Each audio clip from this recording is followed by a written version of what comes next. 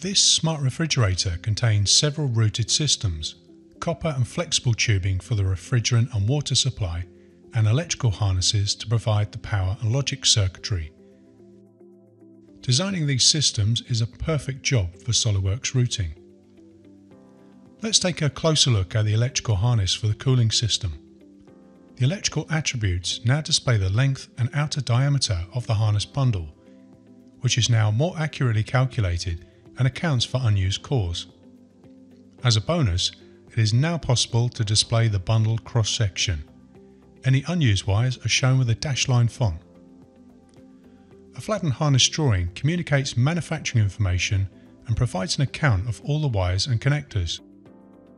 A complex harness drawing would typically require a lot of manual editing. New for 2023, auto balloons for both connectors and wires now appear neatly stacked, even if they are deleted and reinserted. This new level of flattened drawing automation saves time and improves accuracy. Now when you hover on a connector table, it cross-highlights the connector symbol. This means you can place a table anywhere on the sheet and still easily identify its associated symbol. Adding a column to any table now provides a prompt to update all tables at once, eliminating many manual steps.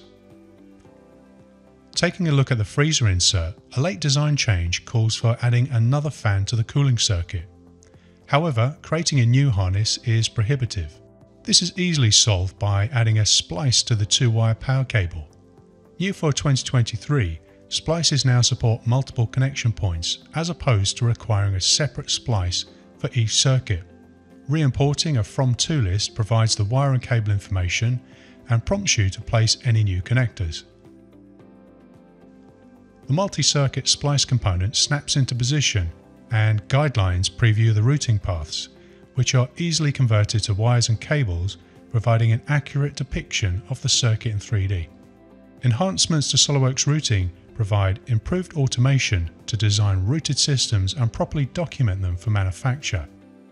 And when you connect to the 3D Experience platform, your routing libraries are automatically catalogued and securely stored in the cloud.